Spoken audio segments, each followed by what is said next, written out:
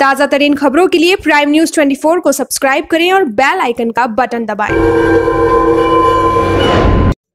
नमस्कार prime news 24 में आपका स्वागत है खबर राजस्थान के डूंगरपुर ज़िले से डूंगरपुर ज़िले के मातुगमड़ा पाल पंचायत द्वारा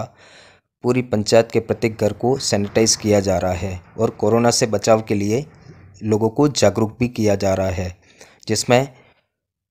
पूर्व सरपंच बाबूलाल कटारा, सरपंच आशा देवी, सचिव रावत जी समाज सेवी बद्री कटारा और समस्त वार्ड पंचों द्वारा लोगों को समझाया जा रहा है और जागरूक किया जा रहा है।